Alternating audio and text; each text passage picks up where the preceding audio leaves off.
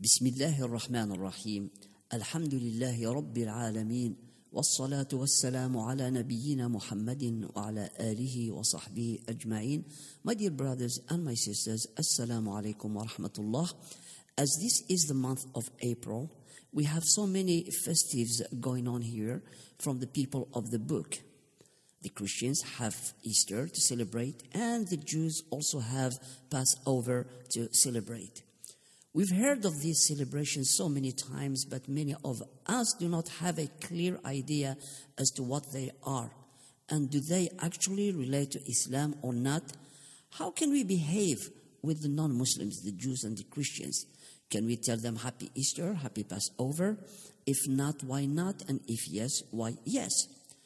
That's because we humans, or the children of Adam our father, we are a beautiful species that Allah subhanahu wa ta'ala has honored and beautified us. We are powerful, intelligent, and utterly clever species.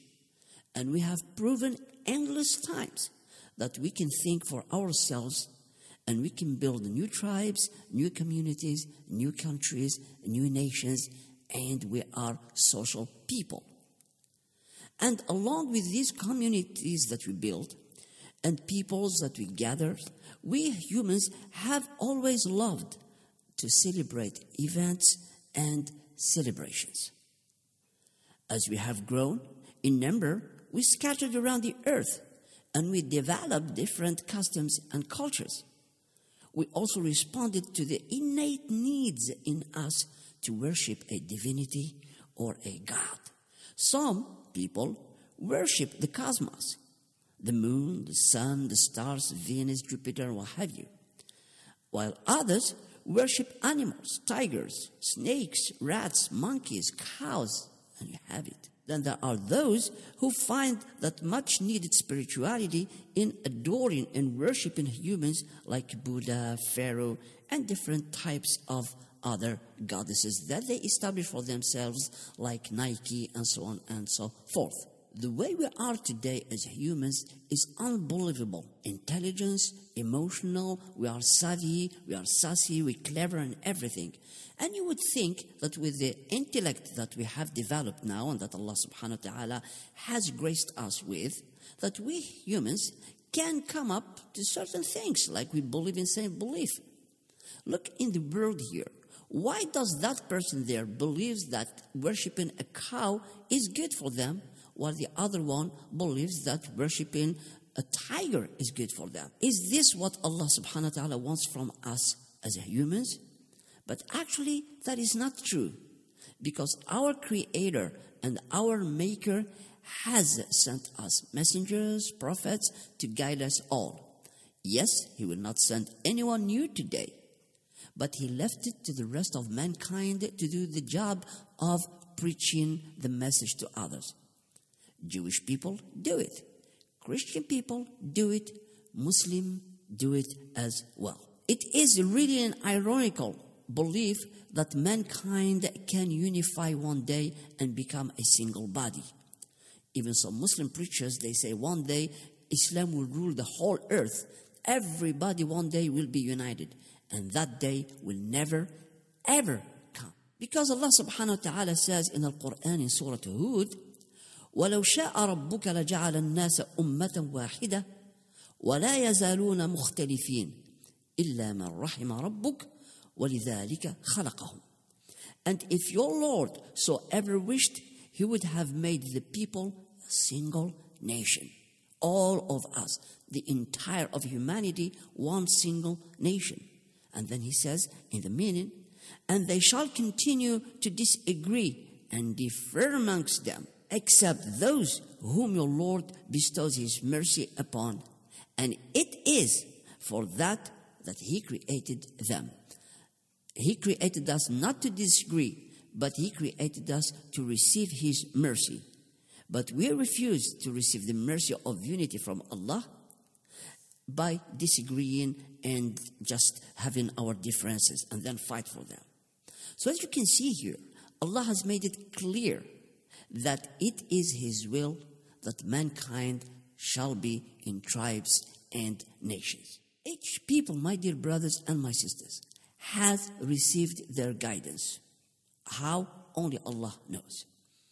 Allah subhanahu wa ta'ala says in the Quran, لكل جعلنا منكم شرعة ومنهاجا ولو شاء الله لجعلكم أمة واحدة. In the nearest translation it says, to each of you we prescribed a law and a method, i.e. to apply that law. And had Allah willed, He would have made you one nation, i.e. all united in one religion. ولكن ليبلوكم فيما آتاكم فاستبقوا الخيرات. So why didn't Allah unite us all together? Because Allah subhanahu wa ta'ala wants to test us in what He has given us. And then He says, so raise each other to goodness, i.e., compete with each other to achieve as much goodness as you can. And then he says, because at the end of the day, إلى الله مرجعكم جميعا فينبئكم بما كنتم فيه تختلفون. To Allah, your return shall be all together. And he will then inform you about that which you used to differ or differentiate or argue or disagree on. And this is very clear, my dear brothers and my sisters, that no matter how much we do, humanity will never stand united. Unless we get attacked by some aliens from outer space, we will always disagree with each other. We will always fight what we believe is the truth, and such is the destiny of man. We Muslims, we have our festivals or our celebrations. We have the Eid. Christians, they have different of them. And the Jews also have other different as well. But because we are in England, I will be speaking about Easter. I want to introduce to you Easter. What is Easter? What does the bunny and the egg have to do with Easter? And also, because we speak about Easter, Easter is tightly tied to another celebration or festival, and that is the Passover of the Jews. So, how much do we know about the Passover of the Jews? But subhanAllah, in this talk here, I will explain and you will have a better understanding about this uh, festival, inshallah. Also, I would strongly recommend that you listen to this talk with your children because it's going to be very, very informative. So, Allah subhanahu wa ta'ala has given a law and a method to apply for everyone so that they can apply it in their lives the people of the book, the Jews and the Christians, are closer to us Muslims than anyone else, as I said before. So Easter and Passover. The Passover is the celebration of the Jews, Easter is the celebration of the Christians. And they both evolve around the two noble messengers. Passover about Moses or Musa and the children of Israel, and Jesus, son of Mary, alayhi and ala Musa, and our prophet and all the prophets, as-salatu and as-salam. Since Jesus, son of Mary, was a Jew, this is or this fact here is widely accepted by every Jewish people out there. But since the Jews reject the prophecy of Jesus, they do not celebrate Easter at all. However, they celebrate another festival called the Passover, which coincides with Easter, and that is for historical reasons, as we shall see. So, what is the Passover holiday? The Passover is a spring festival to celebrate the liberation of the children of Israel by Allah subhanahu wa ta'ala from slavery in Egypt when they were under uh, the boots of Pharaoh and when Allah subhanahu wa ta'ala sent Musa to liberate and take the children of Israel out of Egypt. The two versions, the one that the Jews believe in and what we believe in, will differentiate in the subject of the matter, how it happened, and Passover speaks about their version. It is also very important to mention here that uh, since Passover is about when the children of Israel ran away and they crossed the sea, our Ashura is a little bit not in synchronicity with them because to them in these days is when that event took place, when for us Ashura took place months ago. In other terms, this is the story of the Exodus as described in the Torah or the Torah or the Hebrew Bible. Passover is a celebration that continues for seven days and it starts from the 15th till the 21st of April. Since Passover is the time where our cousins, the Jews, celebrate the safeguard of Musa alayhi and the children of Israel, as history has it, it is also in the Quran. The holiday is called Passover because Allah subhanahu wa ta'ala, when He sent the nine signs or miracles, the children of Israel say there are ten. But anyway, in one of them, or the last one of them, is that Allah subhanahu wa ta'ala, when He sent the angel of death to take the firstborn of the Egyptians, the angel of death passed over the houses of the children of Israel and didn't take the life of any of them.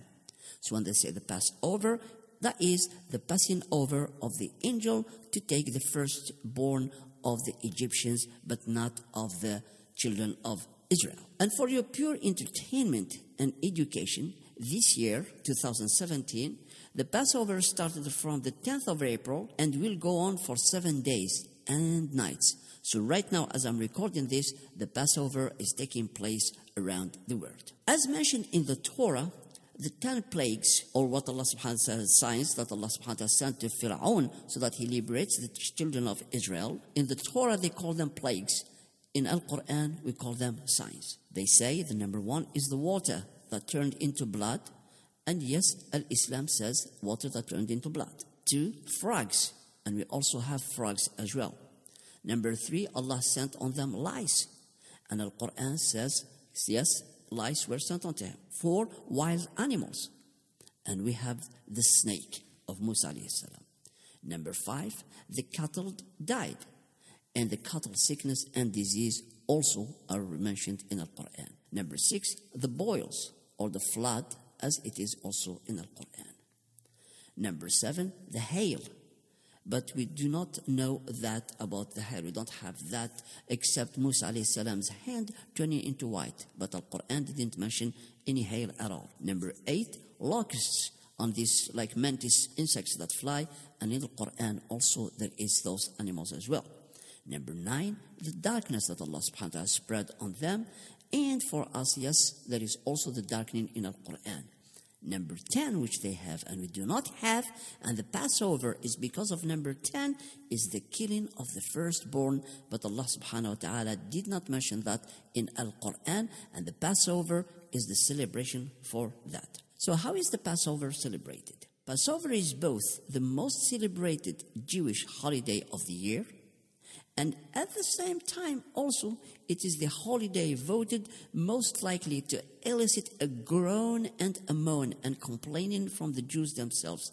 And that is because of the much efforts that go into the preparation. Intense preparations, eatings, and protocols that take place every night and all the overeating that goes with it. But the real irony behind the moaning, groaning, and the hair pulling and complaining is that this is exactly what the Jews are supposed to feel at this time of the year. Passover is a celebration of spring, a celebration of birth and rebirth, of a journey from slavery to freedom, and of taking responsibility for yourself, the community, and the world. This is the belief for the Passover for them, children of Israel.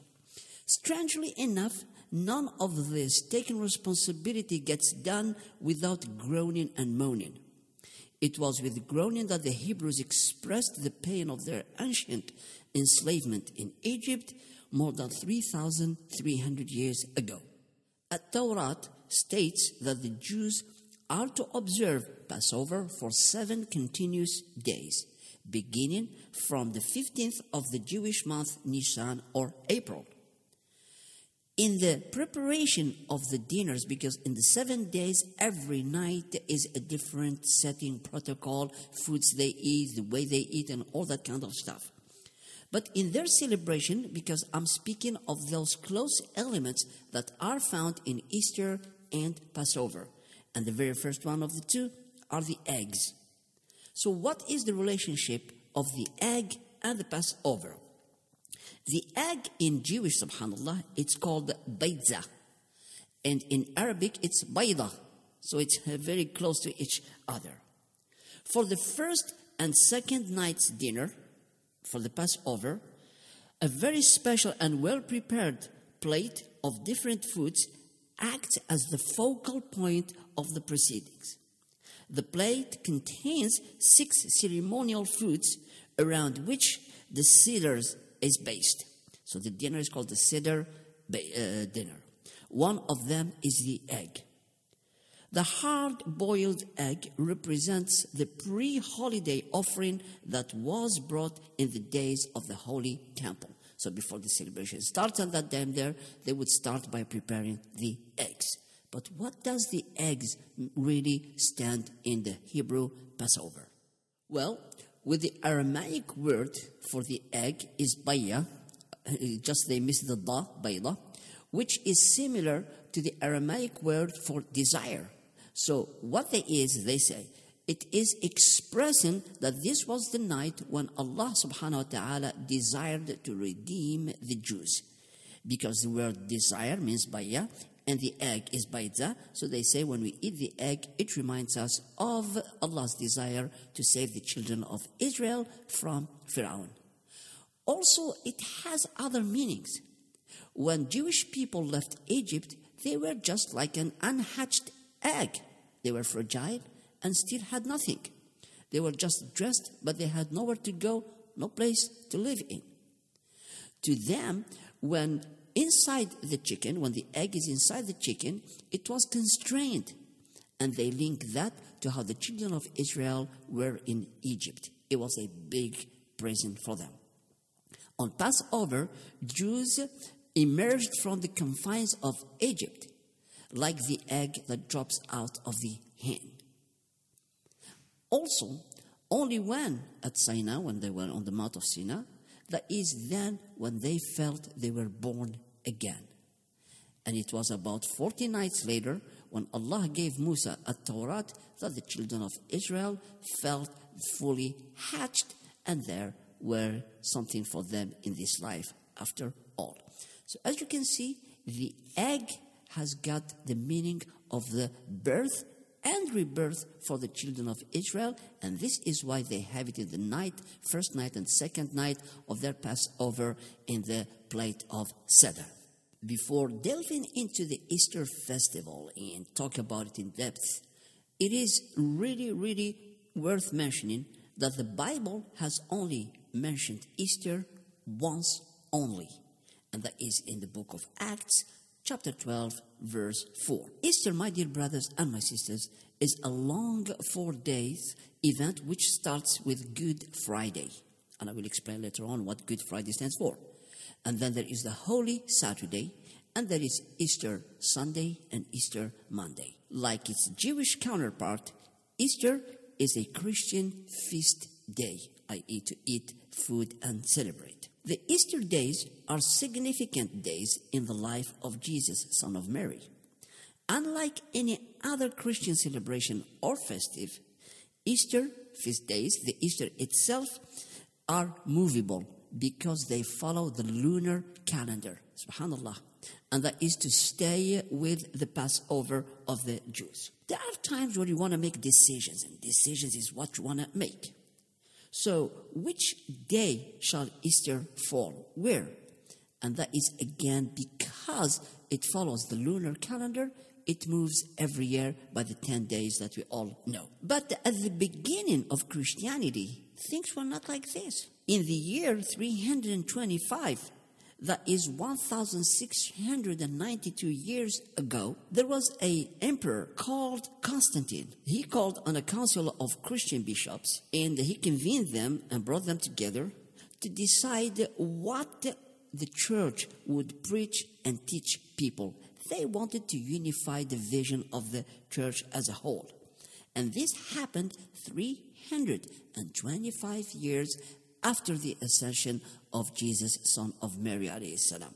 Pretty much almost like we Muslims, what we did with the hadith and so on and so forth. It was in this first council that the Easter day was decided that it should fall on the first full moon after the spring equinox, like when you change the time. And that it, i.e., Easter, should always fall on Sunday to represent the day of Christ's resurrection. That's what it is for them. I'll just say the things like that, okay, without putting my belief in. I'll just tell you what it is they believe in. In its simplest form, my dear brothers and my sisters, Easter is to celebrate the resurrection of Jesus after his alleged crucifixion. Because as you know, that they say that Jesus was crucified on a Friday, on a Juma. And that's why they call it a Good Friday.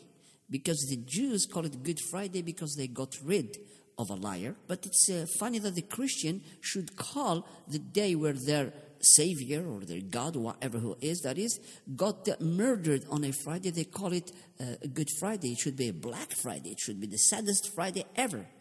But uh, when I once had a discussion with a priest, he said that's because uh, when the Son of God died, that was a whole really happy day for us. Allah knows what it is, but in, in, in case. But anyway, so the Christian believed that Jesus was crucified on a Good Friday and rose again three days later. But mathematically, it doesn't stand. Because if he was crucified on a Juma, Friday, Sunday would be the second day, not the third day. And this discrepancy here has always been there, but nobody pays attention to it because as soon as you go Friday, Saturday, Sunday, you get three with your hands. But if you count hours to hours, let's say, okay, if Jesus was crucified at 1 p.m. on a Friday, Saturday 1 p.m. is one day, Sunday 1 p.m. is two days the resurrection should have taken place on a Monday, not on a Sunday. But in any way, these three days are known as the Easter Triduum. The Easter season, my dear brothers and my sisters, begin on an Ash Wednesday. And that is what it opens the Lent. The Lent is the 40 days fast of the Christians that they observe. It is a season of fasting and prayer. The Lent starts 40 days before the Easter celebration. So, what is this Ash Wednesday? Well, as history has it, it comes from an ancient Jewish tradition of penance and fasting. The practice including, includes the wearing of ashes on the head. The ashes symbolize the dust from which Allah created us. In the Christian world, when the priest applies the ash to a person's forehead because they wet them and they apply them as a cross, he speaks the words. So as the priest, uh, as the priest puts the ashes on the forehead of a Catholic or a Christian, the priest says this: "Remember that you are dust, and to dust you shall return." Amazing, amazing is short of amazing. Subhanallah. He also might say, in addition to that, repent and believe in the gospel. Ashes also symbolize, in this case here, grief that we have sinned and caused division from Allah. And ashes always come after a fire.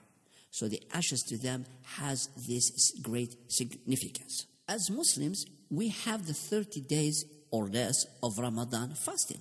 A lot of people tell us, how can you fast for 30 days and blah, blah, blah? Subhanallah haq. Do you know that the 40 days that precede Easter initially were fasting days for the Christian? Allah subhanahu wa ta'ala spoke about these 40 days when He spoke about Musa. He said in Surah Al A'raf, that is the surah number 7, ayah 142, وَوَعَدْنَا مُوسَى ثَلَاثِينَ لَيْلَةً وَأَتْمَمْنَاهَا بِعَشْرٍ فَتَمَّ مِيقَاتُ رَبِّهِ أَرْبَعِينَ لَيْلَةً and we set an appointment with Moses or Musa for 30 nights and extended them with other 10. And his Lord term was completed as 40 nights. These 40 nights is what precedes the Easter celebration. As I mentioned earlier on, the Ash Wednesday starts the Lent period of the 40 days. This is time where practicing Christians fast or due to a manipulation of the text by the church, what they said is you take your favorite food and you quit it for 40 days. Or, let's say, for example, you love chocolate. You will quit chocolate for 40 days. But if you can't quit chocolate, then you will donate charity. And that charity, you put it in a pot, and at the end of the 40 days, you give it away. And no, nobody cares about these 40 days. It's uh, unlike us, Ramadan, you gotta fast it you fast, then you fast it, except if you are sick and you know the rulings. But in anyway, the fasting period that the Christians observe for the 40 days It was when Jesus went into the wilderness and fasted for 40 days as well. This is why Allah subhanahu wa ta'ala, when He gave us in Ramadan about 29 or 30 days, Allah made it easy for us that we fast far less than the 40 days. In the Easter celebration, if you have noticed, we also have the egg. The egg in Easter is a symbol of Jesus' resurrection on Easter Sunday. Eggs are also seen to represent spring and celebrate, as I said in the Passover, the rebirth and the reinvigoration after the harshness of winter. So, obviously, my dear brothers and my sisters, the marketing machine here in the West will take the opportunity and roll its sleeves and work very hard at luring people to spend their hard earned cash on bunnies and eggs. But as I said again when I spoke about the eggs in the Passover, it holds the same meaning. The reason why you see all these big eggs is because an egg just hatches and you get a new life. And Jesus came from the grave and he hatched, so to speak, the grave like an egg, and a new life is given to a small little tiny bird. So please, please, please, please pay attention to this act here. So the question here begs to say, can you give an egg as a gift to a Christian? And the answer is no, you cannot. Because we Muslims, it is okay to differ with people, to disagree with people on a belief. I don't believe in, uh, in what my neighbor believes in, that Jesus is Son of God. I don't believe in it. And I don't accept it, but I agree to disagree with them. So I'm sorry, I can't give you an egg as a gift because it goes against my own belief and I can't take an egg from you. Well, if they give it to you on that day, just so that you don't spoil the atmosphere, take the egg. But later on, let them know that that is not something you usually do. And there it will get on your tricks and tactics on how to convey the message to them without hurting their feelings. But at the end of the day, the egg in Easter is a symbol of shirk. So we must avoid it altogether. Don't give it and don't take it. However, do not, do not, do not insult their celebrations. One. Two, do not spoil it, do not cause them problems. Respect what they do, even if you don't accept it, because this is what Allah subhanahu wa ta'ala, as I said at the beginning, He created us to have difference of opinion. I am not obliged to accept what you believe in, and you are not obliged to accept what I believe in, but what I believe in and what you believe in should not be the source of our animosity. Instead, we can put aside our differences and act on humanity. So, my dear brothers and my sisters, one more time do not buy the eggs in Easter. Leave the time when it goes out, when the celebration finishes and you want to uh, eat them, eat them. But don't do it in the festive because that is what symbolizes their practice. Now, let me go now and jump to the Easter's bunny the rabbit. And why is it there?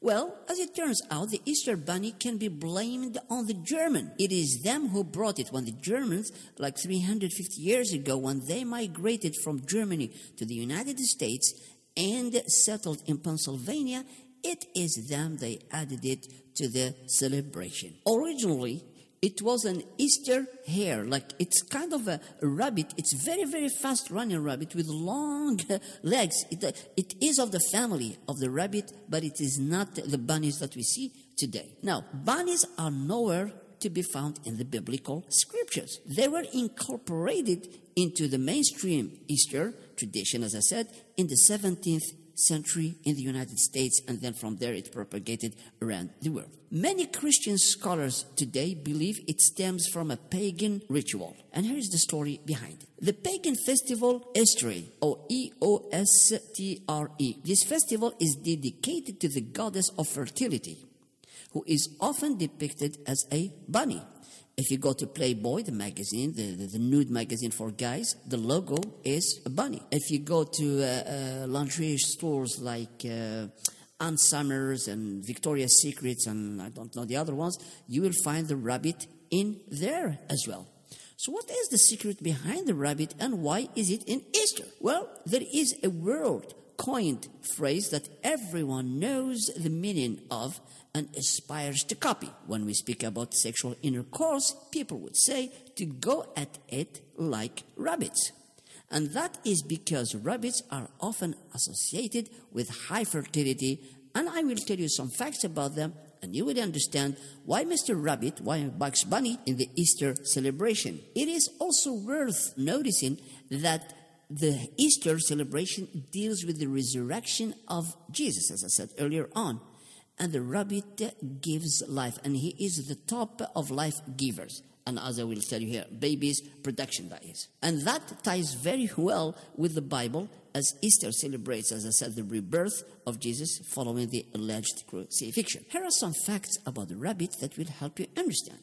Number one, they have lots of babies, up to nine, between nine to 12 babies per year. Not one, it's nine to 12 babies per year. Number two, there are about 50 kinds of rabbits. Number three, Rabbits have babies every month. A mother doesn't have menses. The female doesn't have periods. Number six, the female rabbit can get pregnant as she is about to give birth to her babies.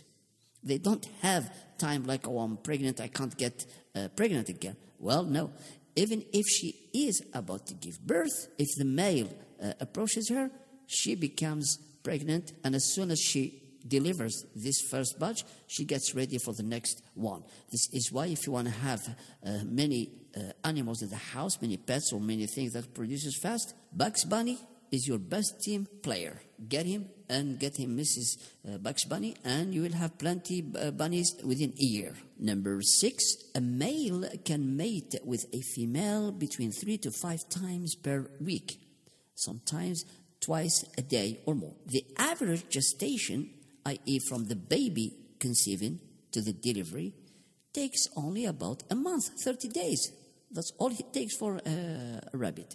Number eight, when the Pope Francis was in the news, he left a message to the Christians and he said to them, Do not breed like rabbits. So that gives you an idea. Even the Pope holds that belief. Number nine, the average rabbit reaches sexual maturity between the age of three months and eight months. Then he spends nine to 12 years enjoying sex, no end. This is like, subhanAllah. Number 10, rabbits are heavily used in the sex and adult industry. So much so today, even if you wore a t shirt with a rabbit on it, anyone that says it will think about sex. To wrap up this uh, little talk here about Easter and Passover, according to Christian history, these are my final closing thoughts here. According to Christian history, the celebration of the birth of Jesus, son of Mary, and also known as Christmas, started around the year 300. So in the first 300 years after the ascension of uh, Jesus salam, nobody celebrated nothing. It's 300 later 300 years later, that this Christmas and Easter started being celebrated. Christianity changed massively when the Roman Emperor Augustine, later given the title of Saint Augustine, became Christian. He requested that all his people become Christians. The people loved their new ruler and were glad to follow the Christian beliefs. Soon, it became obvious they did miss their pagan holidays, especially the winter and spring festivals. In the winter, they used to have a festival to honor the gods of winter. In spring, they used to have festivals also to honor a goddess. That goddess is Esther, and Esther is a goddess of fertility and for fertility you need sex. Now you can add one to one. Back to our friend Augustine. So he wanted his people to be happy with this new faith and enjoy it. So on the suggestion of his mother, he declared that winter festival would be celebrated as Christmas, i.e. the birth of Jesus, son of Mary, and spring festival, that is in April, would be celebrated as Resurrection Day and also at the same time celebrate the goddess Esther. And that is how the bunny got tangled with the Easter. So, as you can see now, my dear brothers and my sister, that the Easter is a celebration about the resurrection of Jesus salam, son of Mary, according to the Christian dogma. And also, there is another important thing that shows us that England is a Christian country for those people who still keep insisting that Christians of today are not like before, all that kind of stuff. So, my dear brothers and my sisters, now educate your children, educate yourself, and know that in these days, people are celebrating something that absolutely we have no nothing to do with it. However, as I said before, we must not degrade, insult, or do anything to insult what they believe in. Recently, some people have exploded some bombs in Egypt, in churches and things like that, and this is an atrocious, horrible thing. We do not kill people. Wallahi this is like a big shame. These people have made us, have turned Islam into a blood making machine, when in fact it is not. And I pray to Allah subhanahu wa ta'ala to curse anyone who causes a civilian or an innocent person to die, and subhanAllah, they blow them in a church. These people were worshiping Allah. You disagree with them, that's your point of view. But you've got no authority, no right at all to take the life of a human being without permission, and nobody has given us the permission to take any lives. I pray to Allah subhanahu wa ta'ala to bless us all, to help us understand our religion. I kept the things tight and just like a fact for you. And I pray to Allah subhanahu wa ta'ala also to guide us all to the right path. Please do not tell people happy Easter or all that kind of stuff because it's just not our cup of tea. If someone says happy Easter, you say, Thank you very much, I appreciate that, and that is that. Nobody's going to tell you, Why didn't you tell me happy Easter? Okay? So if someone says to you, Happy Easter, say thank you very much, and you don't have to say it to anyone at all. People, as a matter of fact, don't even care about it. You say it or you don't say it, and it has become more of a family reunion, and the churches are working as well, and things like that. But at the end of the day, these people are doing their best to worship Allah. And if we Muslims were acting according to what Allah told us in Islam, in the Quran, if we behaved the way we should have behaved, so many people wouldn't be celebrating Easter because they would have found out that they can do better than that. But since we have become a lazy people and we are just here to criticize people, we should not, we should not, we should not do anything that is harmful to mankind. Live and let other people live. This is your brother Abdul Salam Abu Hanifa, and I pray to Allah subhanahu wa ta'ala to bless us all, bless you and your family, and I pray to Allah subhanahu wa ta'ala to forgive our sins and gather us all in the Firdaus al A'la. If you want to join my group on WhatsApp, please do send me a message on 0044 78 76 40 87 35. You have a wonderful life. والسلام عليكم ورحمة الله وبركاته سبحانك اللهم وبحمدك أشهد أن لا إله إلا أنت استغفرك وأتوب إليك